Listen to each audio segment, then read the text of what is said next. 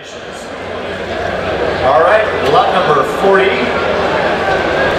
It's the 1941 Packard 120 convertible, an ideal tour car for local Concours events. Well-presented example, pre-war Packard. Matching numbers example, fully restored by a marque expert and being offered without reserve. Lot 40, the 120 convertible. never been shown. It's had $100,000 lavished on it and here to be sold without reserve. Somebody like to reimburse the 100,000 by starting it there? If not, I'd like 50. 50,000. Put me in. 50,000 not where we go. 50,000, 50, 50,000. Where are you at 50,000? You know it's here to be sold. You want to start bidding at 50. Thank you. Yes, sir. That's a nice vigorous bid. 50,000. 50,000 about to sit down. 50,000. We're in the market already at 50,000. 55 bidding now. 50,000 on my left and 50,000 is at 55.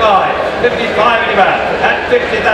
The car's going to be sold. I'm selling a Packard at just 50,000 on my left with the gentleman's bid.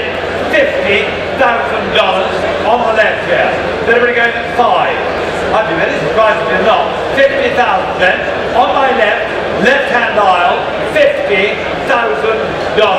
Is there five anybody? Are you ready all done? Ladies and gentlemen, and a make bid of $50,000 to my left here. All finished. $50,000 for the first time. I'm going to sell it to the gentleman who bid me $50,000 for the first time. $50,000 for the second time. $50,000 for the third and the last time at one only bid, ladies and gentlemen.